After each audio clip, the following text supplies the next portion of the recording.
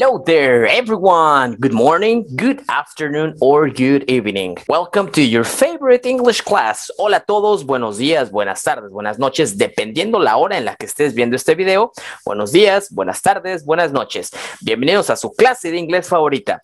Bueno, pues el día de hoy vamos a ver lo que son las partes de la casa para que tú puedas decir en dónde te encuentras, puedas ubicarte y vamos a comparar si lo que vemos en la clase del día de hoy lo tienes en tu casa. No se vayan que ya comenzamos. Como lo mencioné previamente, el título del tema es Parts of the House, partes de la casa. Y vamos a ver cuáles son las partes que generalmente tiene una casa grande. Recordemos que en algunas casas no vamos a contar con algunas de estas partes. Por ejemplo, no sé, garage, basement y así. Entonces vamos a ver cuáles son las partes que existen dentro de una casa. Primero que nada, casa, pues obviamente se dice house. También le puedes decir home, aunque home es hogar. House home. No te escucho. Una, dos, tres. House. Más fuerte. House. Ok, correcto. Ok, una de las partes muy importante dentro de la casa puede ser que tengas un closet de madera o un pequeño espacio en donde puedas guardar tu ropa. A eso se le llama closet. Closet. Ahora tú, más fuerte. Una, dos, tres. Closet. No te escucho. Closet. Correct. La siguiente parte es en donde guardas ya sea tu carro, tu moto, que tienes ese espacio para estacionarlo. Y eso es la cochera. Cochera en inglés se llama garage. Garage. Garage. Ahora tú. One, two, three. Garage. Más fuerte. Una, dos, tres. Garage, correcto. Great job. Muy bien. Algunas casas cuentan con lo que es un, un espacio en donde puedes jugar con tus muñequitos, con tus juguetes, con tu pelota. Y este lugar se llama garden. Garden, que es el jardín. Garden. En mi caso yo no tengo, pero hay casas que sí pueden contar con este espacio en donde puedes hacer un poquito de juegos. Garden. Una, dos, tres. Garden. Más fuerte. Una, dos, tres. Garden.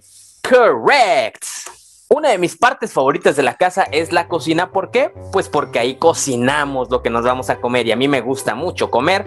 Así que la parte en donde se preparan los alimentos es la cocina y la cocina en inglés se llama kitchen. Kitchen. Kitchen. Una, dos, tres. Kitchen. That's nice. Kitchen. Correct. Otra de las partes que es muy importante en una casa es la habitación. Aquí en México le llamamos cuarto habitación, recámara. Como sea que le llames, en inglés tiene un solo nombre y ese nombre es bedroom, bedroom, bedroom. Ahora tú, a la de tres, one, two, three, bedroom, correct. Unas casas o algunos lugares tienen lo que son las escaleras para subir al segundo piso o tercer piso o cuarto piso o muchos pisos. Y esa parte se les llaman las escaleras, que en inglés se llaman stairs, stairs, stairs. Ahora tú, one, two, three, stairs. Correct. Uno de los lugares que no puede faltar en una casa es el bathroom, el baño. ¿Por qué? Pues porque ahí hacemos nuestras necesidades y aparte nos enjuagamos. Recuerden que la limpieza y la higiene es muy importante en estos tiempos.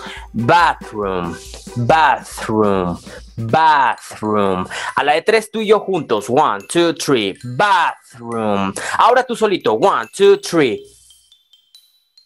Correct. Esta parte de la casa es un lugar que generalmente no tenemos, por lo menos en esta región de México, y este es un sótano. Hay algunas casas que lo tienen, en lo general yo no conozco algún amigo o amiga que tenga un sótano, pero para que lo conozcas, basement. Tú y yo juntos a la de tres. One, two, three. Basement. Ahora tú solito. One, two, three. Correct. Tenemos también un cuarto muy importante y es el cuarto de lavado. Es en donde tienes la lavadora o en su defecto, si no tienes la lavadora, pues donde lavas a mano, tu lavadero. Y ese es un laundry room, cuarto o habitación de lavado. Laundry room, laundry room. A la de tres tú y yo juntos. One, two, three. Laundry room. Correct. Otro de los espacios que para mí es de mis favoritos es en donde por fin me siento a descansar para poder ver películas, series o simple y sencillamente platicar. Y este lugar es la sala. En algunos países le llaman el living, en otros lados les llaman sala de estar. Nosotros, en la región en donde nos encontramos, se le llama sala. Simple y sencillamente sala. Y eso es living room. Living room. Living room. Good job. El espacio que tienes que caminar entre habitación y habitación hay un pequeño pasillo, pues al pasillo se le llama hall.